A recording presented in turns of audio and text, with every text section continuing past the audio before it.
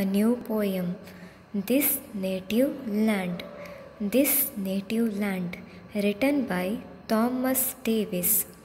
Class 3 from your English textbook. Look at the outline.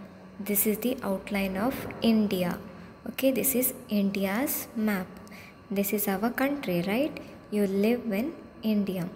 So, here in this poem, the poet explains his motherland, that is India.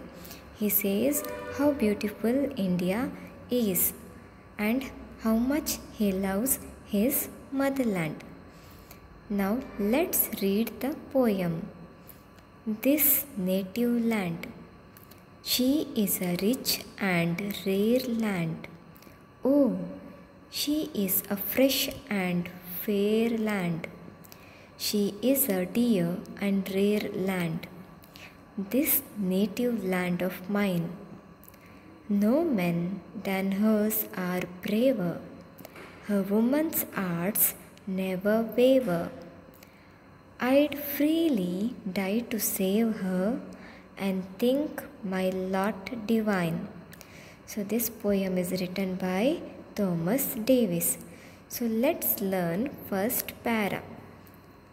So, poet says India is a rich and rare land. Why he says so? Because India has beautiful beaches, forest, temples, historical monuments. Along with that, Indians follow different religions. No country has many religions. They have only one religion in their country. But in India, we have Christianity, Buddhism, Jainism, Islam, Hinduism. There are so many language, languages and also religions. So the poet says India is very rare and fresh land and we have different dance forms such as Kuchipudi, Bharatanatyam, Yakshagana and Kathak dance.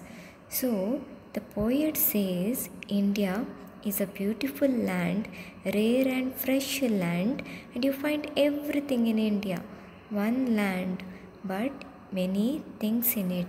So we call India as unity in diversity. India known for its unity in diversity. Next, we'll learn the next para. No men than hers are braver, her woman's hearts never waver.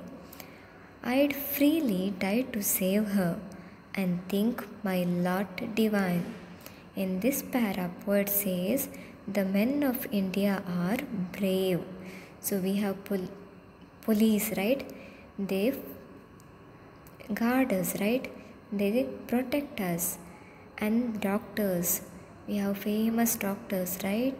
We have cardiologist, dentist, neurologist, physiotherapist. There are many kinds of doctors. They take care of our health. And we have soldiers, right? They work for us day and night in our borders. They fight with terrorists. They are never scared.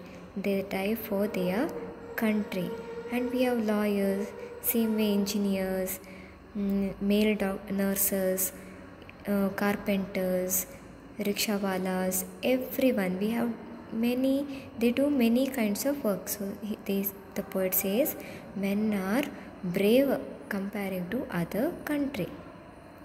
Then he says, women are no less, they are also compatible with men. They, the women of today are working in different fields. So he says, the women are not weaker, they are stronger. So we have police people, female police, we have female doctors, we have female nurses, lawyers, also soldiers, and we have many politicians like Indira Gandhi, Jayalalitha, Pratibha Singh Patil, then Uma Bharti, Sonia Gandhi, Sushma Swaraj. There are so many women who are working along with the men. So at the end, the poet says he is ready to do anything for his country. He is ready to die for his country. So, what's the summary, students? Here, poet says India is a rare and fresh land. Okay, India is a very beautiful land with many religions, many languages, and you find many beaches, temples. So, India is a unique land. It is known for its unity in diversity. In the next para, the poet says, Men are braver. Same way, women are also braver. They are not weak. They are also working in different fields. So, at the end, the says, He love his country and he is ready to do anything for his country.